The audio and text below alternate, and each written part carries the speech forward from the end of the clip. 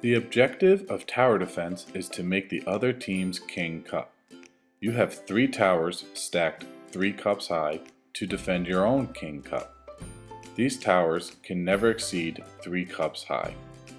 Once a top layer cup is made, be sure to adjust the tabs to the cup underneath to the proper catching position. The towers can be switched around anywhere on the table.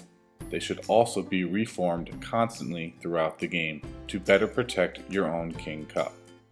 First team to capture the King Cup wins.